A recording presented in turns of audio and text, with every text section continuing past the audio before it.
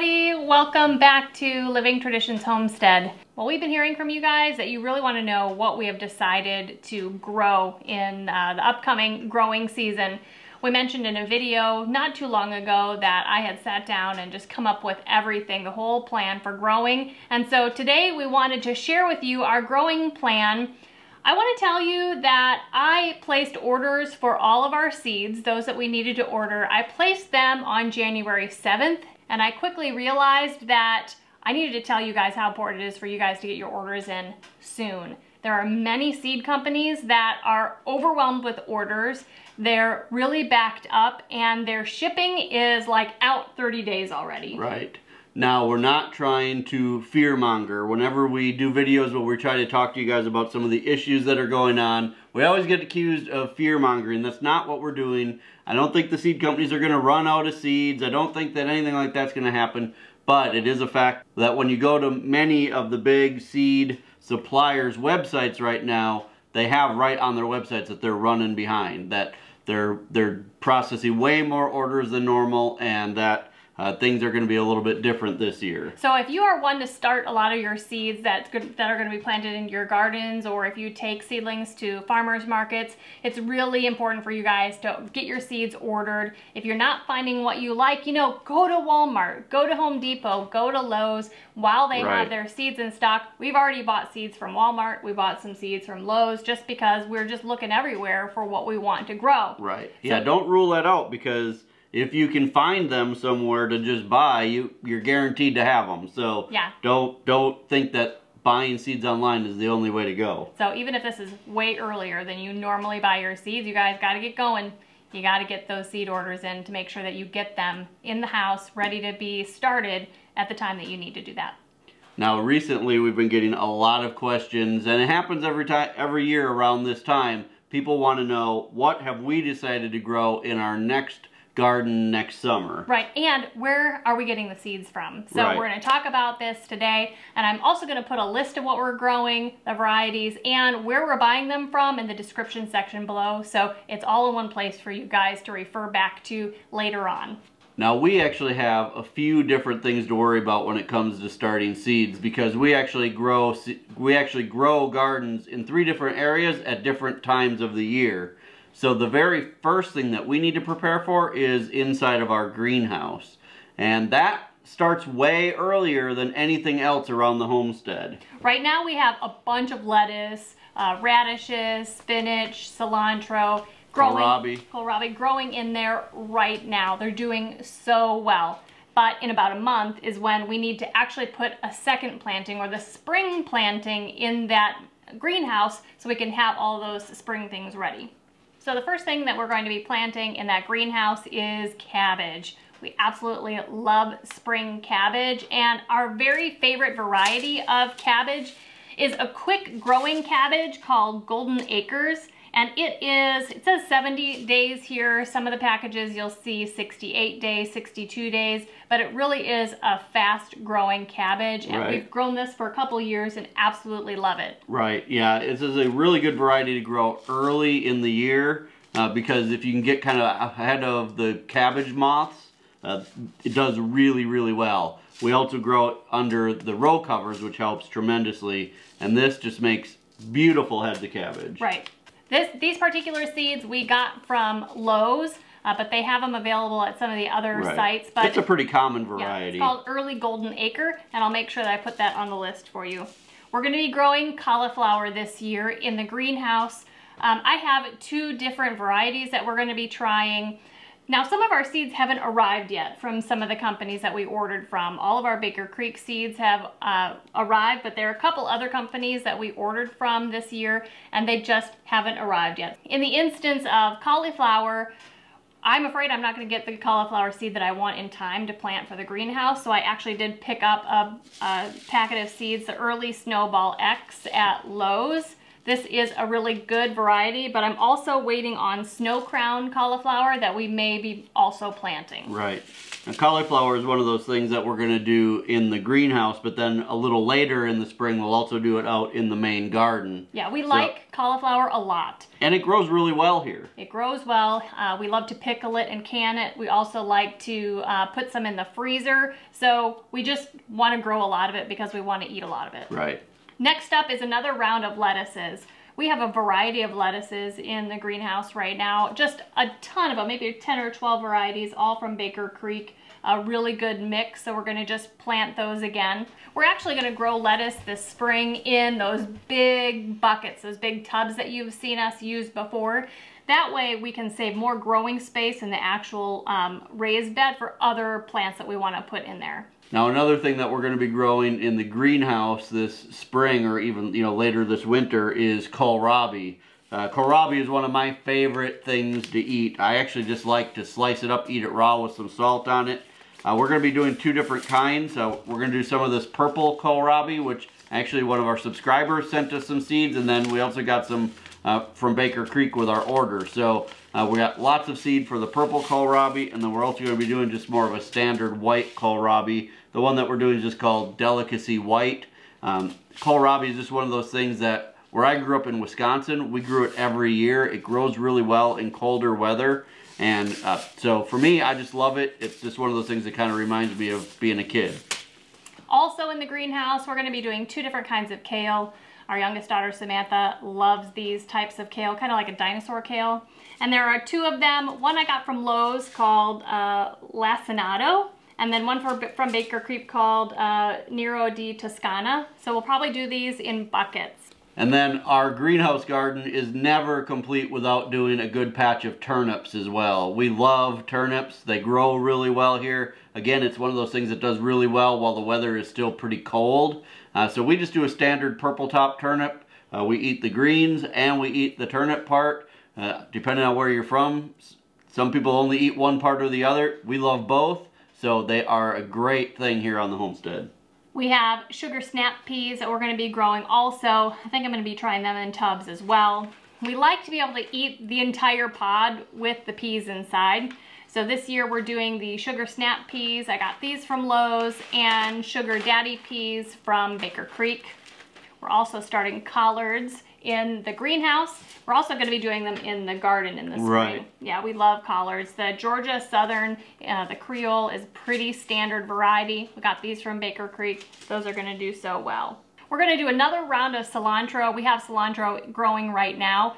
And one thing that I really discovered uh, last year was that if you grow a bunch of cilantro and you blend it up and freeze it in uh, ice cube trays, then you have that ready for when you're making salsa in the summer. The right. reason that's such an amazing thing is that uh, cilantro doesn't do well in the heat. Right. So when it's time to harvest your um, tomatoes to make salsa, there's no cilantro to be found except in the grocery store. Right. So growing a bunch of it in the cooler weather and freezing it is a fantastic thing. Yeah, in the past we've always tried to do cilantro like early, early spring, but then it seems to get too hot too fast. So this last year or this year, we actually planted it in the fall, and we have beautiful cilantro right now in the greenhouse growing all winter. I, I'm amazed. I didn't think it would do well, you know, in the coldest part of the winter, but it's it's doing really well. Okay, so moving on uh, to our big gardens here by our house. We have two big gardens, and we do mostly summer growing, uh, but this coming year we're going to grow just a couple spring things because we want a lot of it. Right. Now one of them I already talked about a little while ago, and that is the cauliflower. We are going to plant some cauliflower in the greenhouse because we can get that started super early. But then we're also going to be doing one 50 foot row of cauliflower in the garden as well.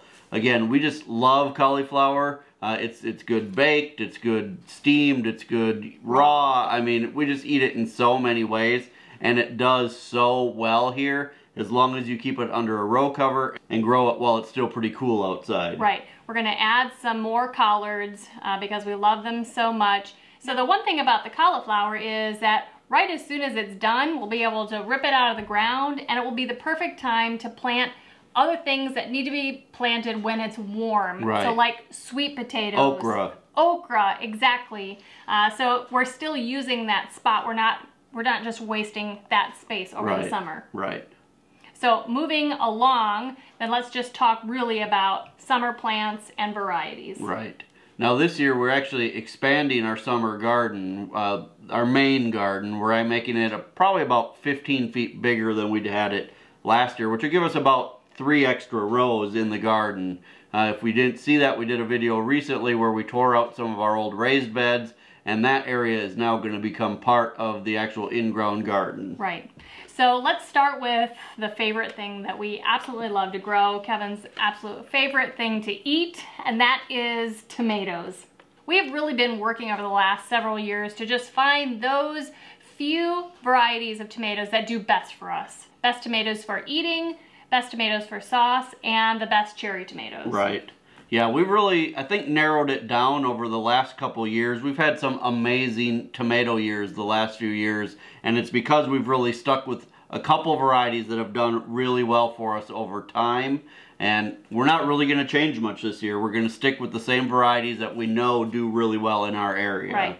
Most of what we grow for tomatoes are hybrid tomatoes, and that might surprise a lot of you, but we really like the fact that they're very consistent. They're uh, they're tolerant, uh, they're resistant to, to diseases, and they just give us a big harvest every year. Right. Now the downside to growing hybrids is that we can't save seeds. We do need to order seeds every year. So we do try to grow some heirloom every year so that we can save seeds as well. So, I mean, we do try to cover our bases that way. But you know what? As long as we can order the seeds and we can get them, we're going to stick with the varieties that we know do really well because for us, it's about production. It's about getting the most bang for our garden space. And that's what we need to do in order to grow a year's worth of food every year. I don't have the tomato seeds yet. I'm still waiting on them from uh, the company we order from, which is generally Totally Tomato. Uh, they have great seeds. So the slicers that we're going to grow this year are Jet Star, which is our absolute favorite, right. and a very similar um, tomato called Jet Setter. Right. Yeah, the Jet Star we've grown for years and years. I think, I mean, pretty much since we started gardening. And the Jet Setter we added just a couple years ago uh, based on recommendations from other people in our area that said they do really well here. Mm -hmm. And they're very similar to the Jet Star. So we, we try to do both of those each year, just in the off chance that maybe one has a bad year, the other one will pick up, you know, the slack. These tomatoes will be used for fresh eating for canning diced tomatoes, and for canning um, tomato juice. And for fresh eating. And for fresh eating, right out of the right. garden. I need to get a new salt shaker this year, I think. Yeah. I always keep a salt shaker in the garden with me because, you know, you got to eat while you're out gardening.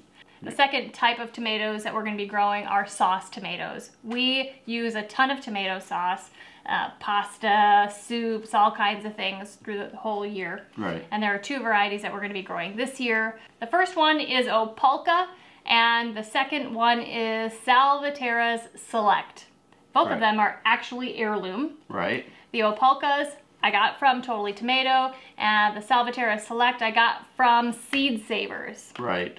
Yeah, both of those are varieties that we've done in the past, uh, you know, the last couple years, and they do absolutely great for us. So, again, we're not going to change anything. Once we find varieties that we like, uh, that's what we're sticking with because, again, it's all about getting the most out of the garden space that we have. The one thing I really like about both of these types of tomatoes is they grow actually really big in comparison to like the Romas that you would um, grow or buy at the store. They're nice, big, meaty tomatoes. You get a right. lot of bang for your buck. Right. Mm -hmm. And then, of course, the garden is never complete without cherry tomatoes. What I like to do is plant one cherry tomato plant at the end of each row in the garden. So as I'm working out in the garden, when I get to the end of a row, I can stop for a good 15, 20 minutes and have as many cherry tomatoes as I want. Maybe not quite that long, but a good snack, you know, you gotta have a good snack. So this year we're doing two varieties of cherry tomatoes. We've tried so many cherry tomatoes over the years. I mean, probably 25, 30 different varieties. And we always have the same problem, and that is that when they get into the heat of the summer and then we get a bunch of rain, they crack so easily and so many of them have to be wasted. So we've come up with two varieties that we've grown now. This will be the third year that we've grown them and they're fairly crack resistant. We have very few of them that crack. The first one is called Gardener's Sweetheart. Uh, that's actually an heirloom cherry tomato. And then the second one is called Juliet. That one is a hybrid. And they both do really, really well. The Juliet seeds we ended up getting from Totally Tomato, uh, but the Gardener's Sweetheart was a little bit harder to find. I ended up ordering those from Fedco. Now, the tomatoes obviously are my favorite part of the garden if you've seen any of our gardening videos in the past, but there's something that's always Sarah's favorite, and that is peppers. We're not going super crazy with a ton of varieties of peppers this year. We're, we're going to be on the, the conservative side. But the bell peppers we're going to be uh, growing this year are my favorite. I was able to find seed this year. Last year I couldn't find seed. Uh, it is called Emerald Giant. And I found that this year from Burpee of all places. I've never hmm. ordered from them before, but I decided to just do it this year and order from Burpee.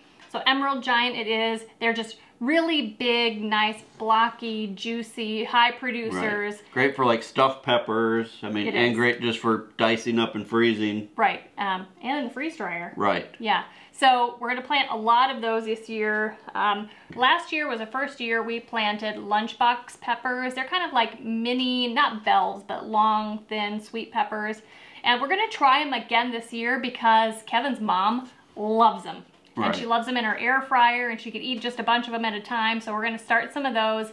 We'll grow them on our garden. She'll grow them on hers. It'll just be a blast. Now when it comes to spicy peppers, there's one variety of jalapeno that we grow every single year. It's called Craig's Grande Jalapeno. Uh, it comes from Baker Creek and we just absolutely love it. It's just one of those varieties that, you know, you end up with way more peppers than you can imagine. I mean, the plants are just absolutely loaded. Along with the jalapenos though, we always like to grow one not spicy jalapeno from Baker Creek called Nadapeño. Uh, it tastes exactly like a jalapeno pepper, but no heat at all. So if you have someone in your family who maybe doesn't like spicy things, but still wants to do the jalapeno poppers or something like that, the Nadapeños are the great way to go. So uh, I would highly recommend those. And then the other really spicy pepper that really we're going to be doing spicy. this year, uh, we haven't done in a couple years because when you do these, they just they make more than you can possibly use. Uh, that's Tabasco peppers. We had a phenomenal year with Tabasco peppers a couple years ago, so we haven't done them in a while, but it's time to make some more homemade Tabasco sauce this year. So we're going to be doing a few plants of the Tabasco peppers. And the last pepper that we're going to be growing this year is my all-time favorite pepper of the whole world.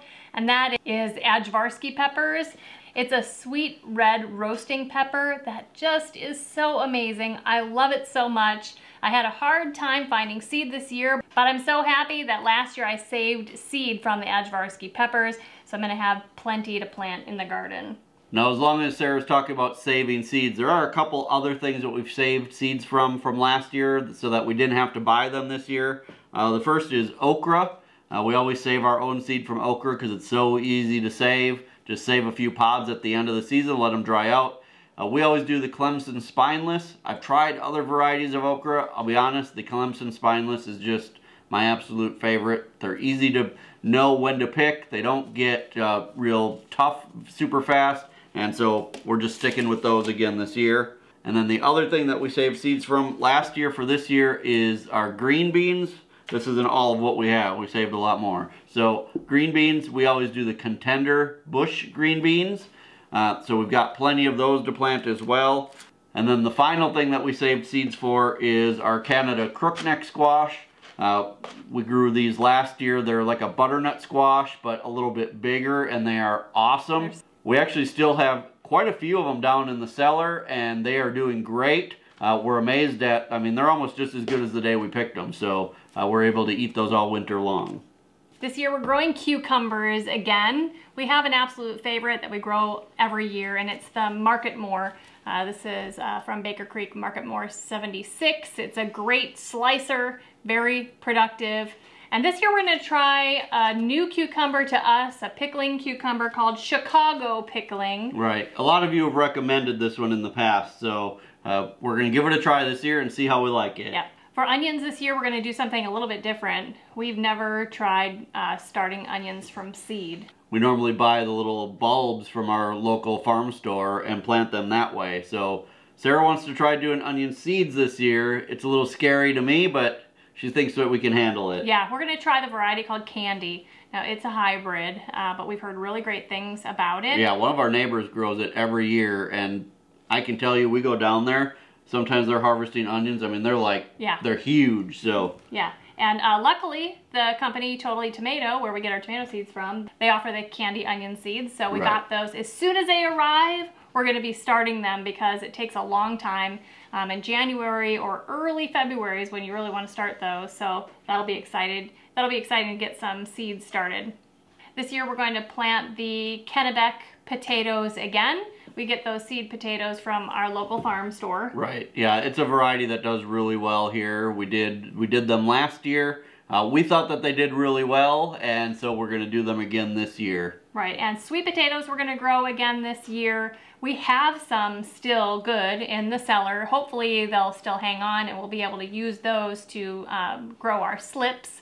Uh, last year we grew Jewel and Garnet and this year we'll do the same thing as long as they're still good, or if we can find them at um, the local organic food store. That's where right. we that's where we got our uh, sweet potatoes last year to start the slips from. Right. Yeah. Starting your own sweet potato slips is so easy. Yeah. And I mean, we go to the store if you don't have some already saved from the previous year. Go to your local organic store. They have to be organic. Because the ones in the regular store, a lot of times they'll spray them with something that stops them from sprouting. So get some organic ones. And I mean, we do like two of each variety, gives us all the slips that we yeah. need for the entire garden.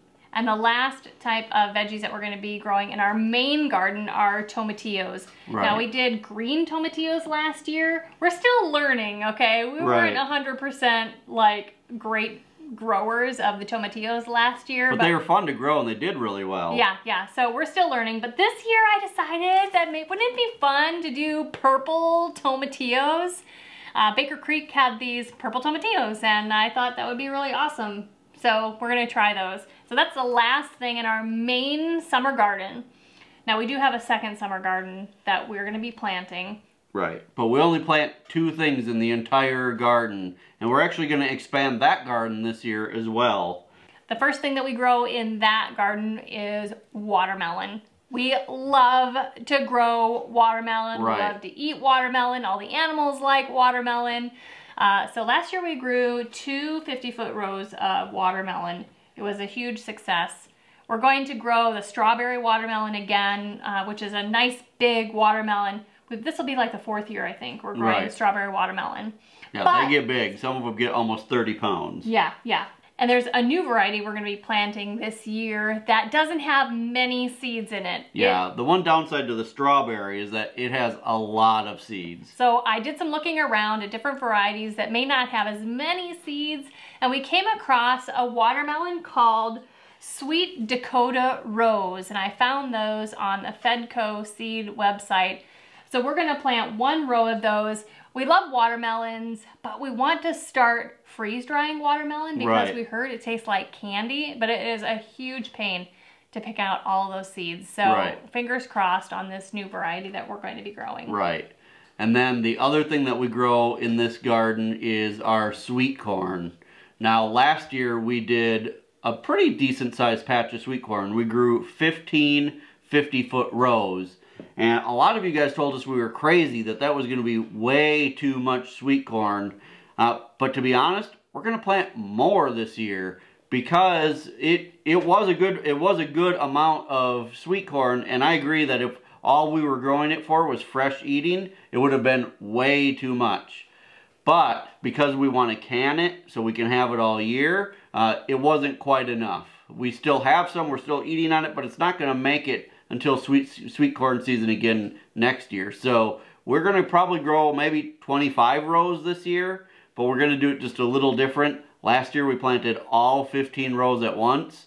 And for those of you who haven't grown sweet corn, once it's ready to pick, you have about five days to pick all of it that you've planted. So this year we're going to stagger plant. We're going to plant maybe three or four rows, then wait a week or two, plant another three or four rows. And we're going to do that because here in Missouri, we can plant, it's a long growing season right. for, for sweet corn, so we can get it spread out so it's not so much work all at once. And we're going to stick with the same variety of sweet corn that we did last year, which is the peaches and cream. Uh, it was it was amazing. It was. I mean, it was So so, good. good. So why change something that was so good? We can find that seed at our local farm store, and so Right. that's what we plan on doing. Yeah, and in big packages. We exactly. can get it in big quantities, so that's nice. Yeah. So that's what we're going to be growing in most of our gardens. That's really the food we're going to be growing for the spring and the summer. Do you think that was enough? I don't know. We could probably add a few more things in there. We probably will actually by the time we get to growing season. We'll be like, oh, we need this and that and this and that. Right. But anyway, there are a couple other things that I want to tell you about. Uh, I will be growing some flowers this year. I don't really have a lot of time to dedicate to flowers. Uh, they're pretty, and I always wish I have more time to plant things like that, but most of our energy is dedicated to the food that we're growing. But this year, we're going to be uh, growing marigolds, which are beneficial. They keep Right. insects away, so I can uh, I can grow those and feel good that they're they're being beneficial to our harvest. Uh, we'll plant those in many different places, and they're pretty. I'll probably put some in pots. I'm going to be planting petunias. I think they're beautiful, and the few pots that I have around the homestead, they'll get some petunias. Pansies are one of my favorites, and Baker Creek has some gorgeous varieties. Uh, they have this absolutely beautiful purple uh, pansy called Lake of Thun or Thun, and these beautiful yellow ones uh, called Coronation Gold. And together, planting these together is going to be so beautiful. I love purple and yellow together. And then I'll also be planting some zinnias. I just have a ton of zinnia seeds just from years previous. And uh, those will pop up here and there just to add some color to the homestead. It'll be pretty. And then just quickly, I want to talk with you about some of the herbs we'll be planting. Now, I have a lot of perennial herbs already around the homestead, Right. so uh, there isn't a whole lot that I need to plant from year to year, just the annuals. So basil will be planting, and um, parsley, dill, um, chamomile, and I'm actually looking for ashwagandha seeds uh, to start some of those too. Everything else that we would possibly need as far as herbs, we already have because they're perennial. Right. Well, I don't know about you, but I'm starting to get a backache just thinking about all the stuff we have to plant this year. But I'm excited as well because it means we're going to have another season of great, awesome food for our family. So you guys, have you started gathering your seeds for the upcoming growing season? Make sure you let us know in the comment section below what your favorite companies are to order seeds from. And hopefully that will give ideas to everybody else. We do have a few other things up our sleeves that we're working on for the springtime. We're not quite ready to share with you guys yet, but let's just say we may be doing even more growing than what we talked about today. So we'll be talking more to you guys about that in the next probably month or so. So we thank you guys so much for joining us today. It's a cold, wintry day. We actually have snow on the ground, which is rare for us. We're, but it's a great time to sit down and really start planning things out for the upcoming spring. It'll be here in no time. If you're enjoying our videos, make sure to hit the subscribe button below so that you are notified of our new videos that come out. And remember that the best way that you can help us here on the homestead is just to share our videos on all your social media. Until next time, thank you so much for stopping by our homestead. Take care and God bless. God bless.